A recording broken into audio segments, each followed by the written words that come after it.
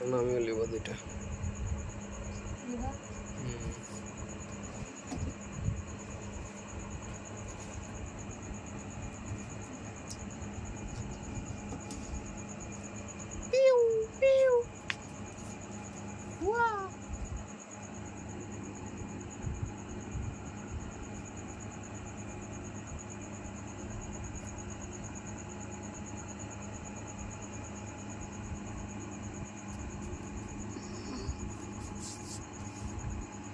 দেখতে পাচ্ছেন, এটা আমার বাড়ির মানুষ।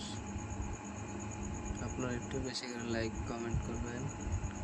এই যে বসে আছে, এটা আমার বাড়ির লি বাবুর মা এটা ওই আমাকে এগুলো শেখাচ্ছে, বেলুন ফুলানো